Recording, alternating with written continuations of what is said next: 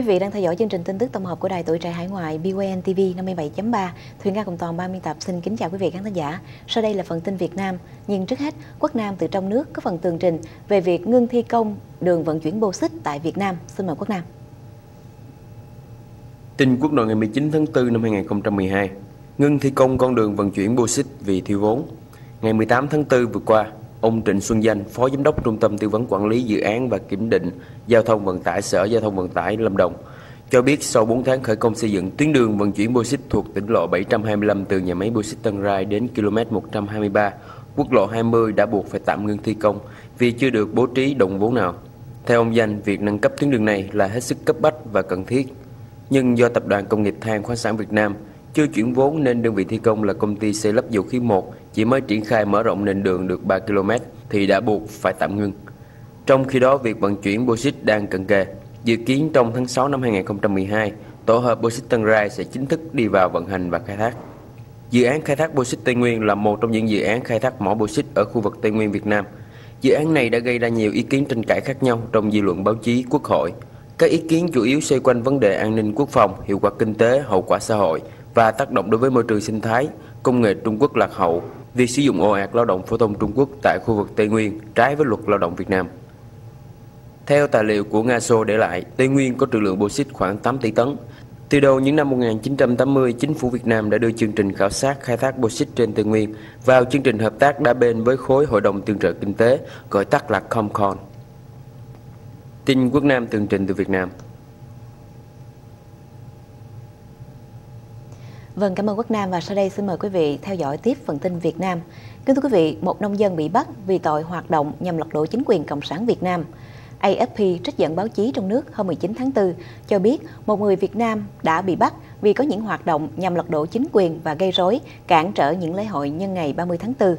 Ngày bắt giữ không được nêu ra, Ông Võ Viết Diễn, 41 tuổi, ngụ tại Kiên Giang, làm nghề nuôi trồng thủy sản, đã bị khởi tố và bắt giam để điều tra sau khi bị cho là có quan hệ với Đảng Phục Hưng Việt Nam, một tổ chức ủng hộ dân chủ hóa được thành lập từ năm 1978 ở Los Angeles, bị cấm hoạt động ở Việt Nam. Vẫn theo chính quyền Việt Nam, ông Diễn còn được đào tạo, huấn luyện, nhận chỉ thị và tiền bạc của Đảng Phục Hưng Việt Nam.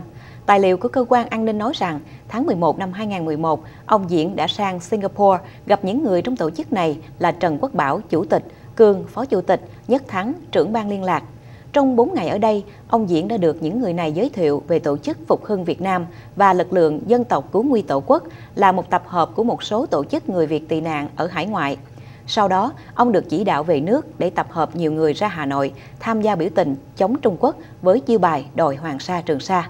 Cũng theo hồ sơ của An ninh Việt Nam, thì sau chuyến đi Singapore tháng Giêng năm 2012, ông Diễn được Tổ chức Phục Hưng Việt Nam gửi cho 1.500 Mỹ Kim để mua máy tính phục vụ liên lạc.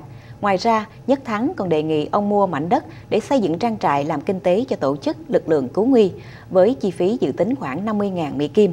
Cơ quan an ninh Cộng sản Việt Nam cáo buộc dịp Tết Nguyên đán năm 2012, Nhất Thắng đã gửi cho ông Diễn 400 Mỹ Kim và yêu cầu tìm thêm người cho tổ chức đưa sang Thái Lan gặp gỡ huấn luyện.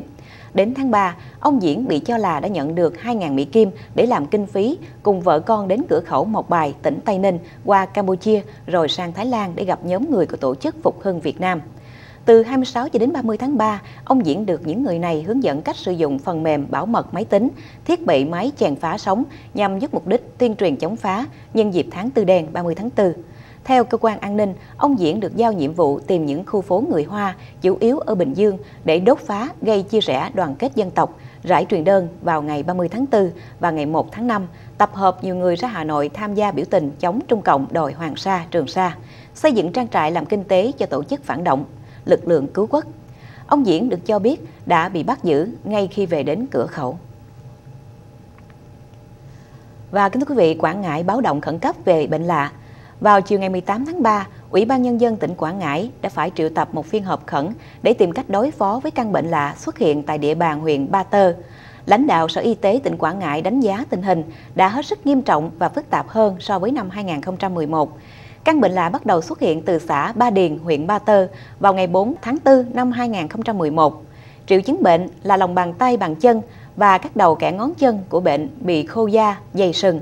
Một số người bị bệnh biểu hiện mệt mỏi, kém ăn, bị sốt và bị tê lòng bàn tay bàn chân.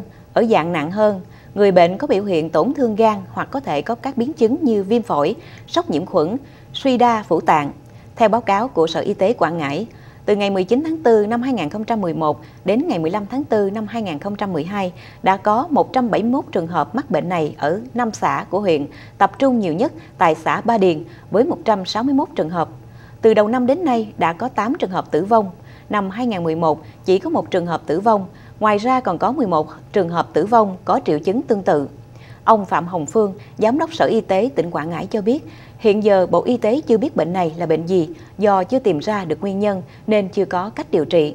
Bộ Y tế cho biết sẽ đề nghị Tổ chức Y tế Thế giới và Cơ quan Kiểm soát Dịch bệnh Hoa Kỳ hỗ trợ truy tìm nguyên nhân và cách điều trị bệnh lạ này. Và kính thưa quý vị, doanh nghiệp tặng xe cho Bộ Giao thông Vận tải đã trúng thầu dự án giao thông.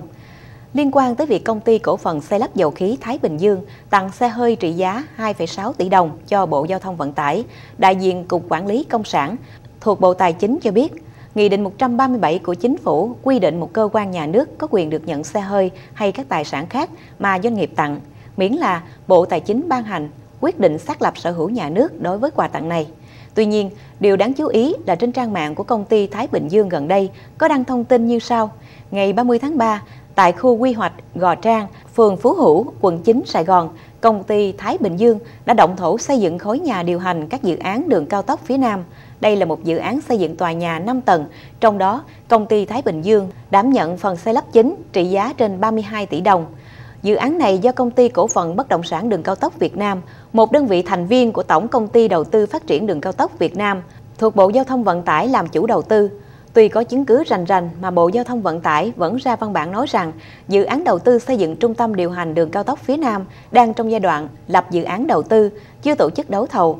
Vật liệu công ty Thái Bình Dương chưa trúng thầu có thể động thổ dự án được không? Ông Nguyễn Hữu Chí, Thứ trưởng Bộ Tài chính nói rằng ông không biết việc công ty Thái Bình Dương đã trúng thầu một dự án của Bộ Giao thông Vận tải. Ông Chí còn bào chữa rằng do quy định hiện hành cũng chưa có hướng dẫn cụ thể, trường hợp nào doanh nghiệp được tặng xe và cơ quan quản lý không được phép nhận. Cũng theo thông tin từ Bộ Tài chính, thời gian qua, việc doanh nghiệp tặng xe hay tài sản có trị giá lớn cho cơ quan nhà nước là không nhiều. Tuy nhiên, con số chính xác về những trường hợp này không được Bộ Tài chính tiết lộ. Và kính thưa quý vị, hạ lưu sông Hương đầy rác. Sông Hương nổi tiếng có tỉnh Thừa Thiên Huế, vốn trong xanh nay lại dập dềnh rác ở hạ lưu phía bờ Bắc thuộc huyện Hương Trà và bờ Nam thuộc huyện Phú Vang. Đoạn sông này chảy qua phố Bao Vinh, rác thải sinh hoạt tạo thành từng mảng dày đặc nổi lên bền trên sông.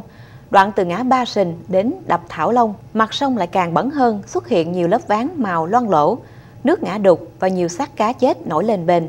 Ngay cái đoạn cuối sông Bồ, một phụ lưu lớn của sông Hương cũng bị ô nhiễm bởi rác thải, có chỗ mặt nước còn bốc mùi nồng nặc. Ông Trần Đình Hòa, trưởng thôn Hòa An, xã Phú Thanh, huyện Phú Vang cho biết, người dân sống hai bên bờ sông vẫn quen vứt rác xuống sông. Từ năm 2006, khi đập Thảo Long ở cuối sông Hương được đưa vào hoạt động, rác từ thượng nguồn sông Hương và sông Bồ đổ về không trôi được nên ứ động trên sông, ngay phía thượng nguồn của đập. Trên chính dòng sông đầy rác đó, nhiều người dân ven sông hàng ngày vẫn tắm rửa, giặt giũ, rửa thức ăn và cả vo gạo. Tình trạng này đã kéo dài nhiều năm, nhưng khi được hỏi thì ông Trần Hưng Long, trưởng phòng tài nguyên môi trường huyện Hương Trà nói rằng chưa nắm thông tin về tình trạng rác thải gây ô nhiễm hạ lưu sông Hương. Còn ông Huỳnh Văn Đức, trưởng phòng tài nguyên môi trường huyện Phú Vang thì nói đã triển khai dự án bảo vệ môi trường sông Hương đoạn qua huyện Phú Vang, nhưng việc này cần phải qua nhiều công đoạn chứ không thể gấp gáp được. Và kính thưa quý vị, giải cứu 2,2 tấn thịt thối từ hố tiêu hủy.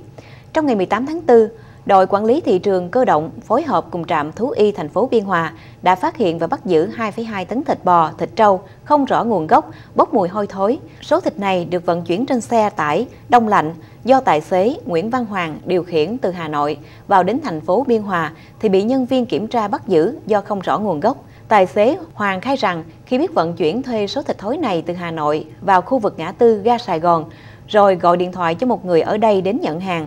Sau khi lập biên bản, số thịt thối này được 4 nhân viên quản lý thị trường và một nhân viên thú y thuộc trạm thú y thành phố Biên Hòa áp tải xe đông lạnh của tài xế Hoàng đưa đi tiêu hủy tại một bãi đất. Tại đây, lực lượng chức năng cho chuyển số thịt thối từ xe xuống những hố đào sẵn rồi tưới xăng lên để đốt. Sau khi tưới một lượng xăng lên thịt thối rồi bật lửa cho cháy khoảng 20 phút thì các nhân viên này lên xe bỏ về. Tuy nhiên, tại hiện trường thì số xăng được tưới chỉ đủ cháy xém phần thịt trâu, bò nằm bên trên. Do thịt ướt nên khi cháy hết phần xăng bám trên thịt thì lửa tắt.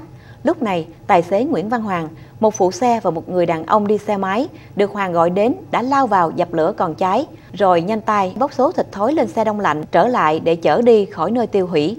Khoảng 18 giờ 15 phút, chiếc xe đông lạnh do tài xế Hoàng điều khiển chở hơn 2 tấn thịt thối vừa được giải cứu chạy về hướng Bình Dương. Theo quan sát của phóng viên, xe chở thịt thối đã lao vào một cơ sở chế biến nội tạng thịt heo nằm phía trong khu nhà kho của công ty Triển Khánh ở khu phố Bình Đáng, phường Bình Hòa, thị xã Thuận An.